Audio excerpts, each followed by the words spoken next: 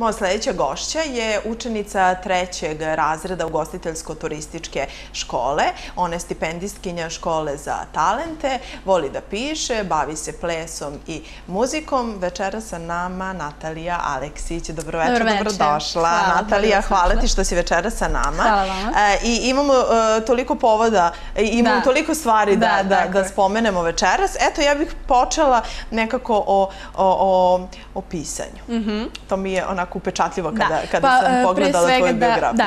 Pre svega da kažem da sam ja polaznica škole za talente komercijalne banke koja se bavi e, promovisanjem devojaka iz svih srednjih škola u Beogradu. E, to su mi smo svojim multitalentima i svojim dostignućima na regionalnim gradskim takmičenjima osvojili nagrade.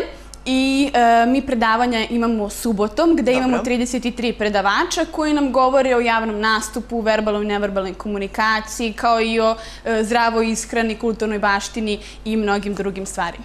Lepo. I na osnovu čega mhm. si ti baš dobila stipendiju škole za talent? Pa, ja sam dobila stipendiju e, pre svega zato što sam polaznik regionalnog centra za talente Beograd 2 i tu idem na književno stvaralaštvo. Tu sam osvojila nagradu na regionalnoj smotri radova iz književno književnosti, mhm. treće mesto za svoju zbirku pesama e, Ulica Čežnje broj 16, koja govori e, o mom odrastanju, e, mojim nekim čežnjama, o zaljubljivanju i o svim tim nekim mojim poletima u detinjstvu. I sad ću vam ovako, ovo je moja, mhm.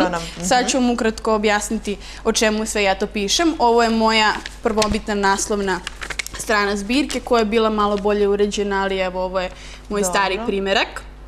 Lepo. Mhm. E, moja zbirka se sastoji iz osam priča i pesama. Dobro. A koju temu obrađuješ? Šta je to o čemu voliš da pišeš? Pa evo sad ću vam, mislim, pročitat ću pa ćete već vidjeti. E, pronađi me pesma koja govori o ljubavi, pronađi me na ledenoj kiši i onda gde najviše boli i pokaži mi kako se voli. Zapovest je također ljubavna pesma, sa tobom ja ne poznajem vreme i gubim sate, dane i teme. Da nisam tu, ja sanjam da nisam tu, ali uvek probudim se. Lepo. Osjećam pucnat čežnji u mom srcu i besne vukove koji vape za plenom i gluve zidove u sobi ovoj. Milo moje, Milo moje također priča. E, ova glava moja izličena teška je sada kao tuč. Ja znam. I ovo grlo moje grči, grči se sada od reči ovih Milo moje. Dok je neba i zvezda, sećam se jednog petka, zvezdanog petka. Budiš se, budim se, odlazim. Crne rupe, ponoći moje reči ja ponovo igramo ruleta, zna se ko pobeđuje. I svi mi imamo crne rupe u koje nekada uđemo, ali naravno iz kojih se vratimo da bi videli sunce i ponovo videli svetlu života koje nas pokreće. Pa lepo, moram da priznam da mi se dopada, ali nekako se sve vrti oko ljubavi, ali da? Da, pa od prilike. Mislim, ja sam takva da sam sažeta jednostavno od toga, tako da... Divno, neka, odlično. E, ono što također e, moram da napomenem, voliš mhm. i glumu, je li tako? I bila si asistent na filmu Montevideo Bokta Tako je, tako je. E, pa gluma je pre svega nešto u čime se ja bavim od svoje osnovne škole i prvu godinu glume završila sam u dramskom studiju Teatrić. Do skora sam bila polaznik studio centra gde sam sada sam pauzirala jer želim jednostavno da istražujem sebe u drugim stvarima i tu sam učestvovala, to jest igrala u dve predstave, želim da pobegnem od kuće i deca na internetu, sa kojom smo imali svoje stoto i posljednje izvođene, što je nama bilo jako bitno i gde smo, mi smo se osjećali jako lepo u zatvaranju samog tog velikog perioda našeg rada.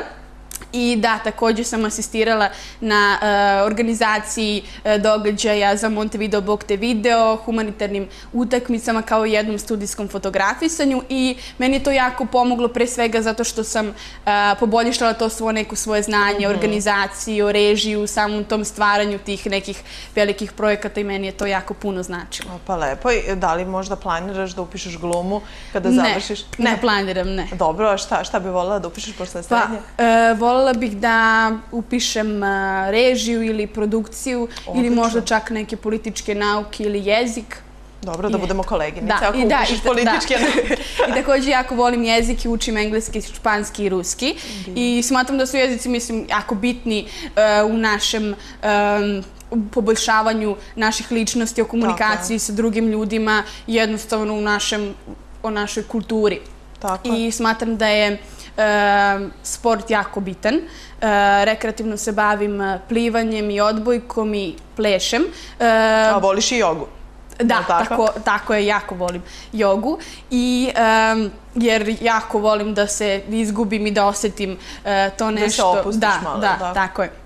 I uh, ples sam trenirala tri godine u plesnom studiju Beo Dance um, i jako sam veliki ljubitelj blues i soul muzike, pogotovo jazz muzike i zato od septembra krećem na jazz baletu i zato se sad trudim da malo figuru dovedem skroz u red i da uh, krenem na te časove jer smatram, jedva čekam da osjetim tu slobodu i državanje jer obožavam da sam na sceni, tako da... Dobro, lepo. Ja ti želim, eto, uspeha.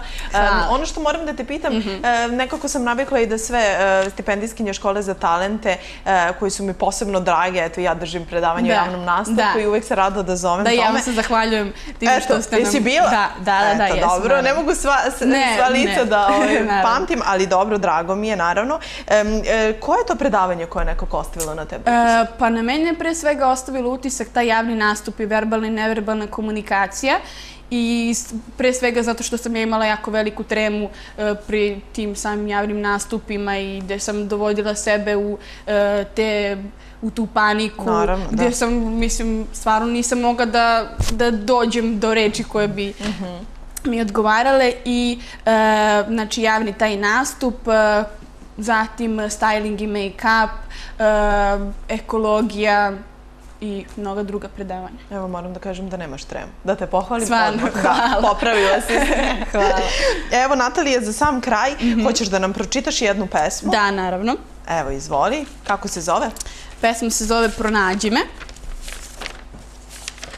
I e, Pronađi me je pesma kojom ja želim da nastavim promociju knjige Dnevnik e, duše od Milana Nikolića iz Ana, koji je nam održao jedno beskrajno lepo predavanje svog novog dela koje govori o ljubavi koja, mislim, nikada ne umire. Tako je, divno. Izvoli.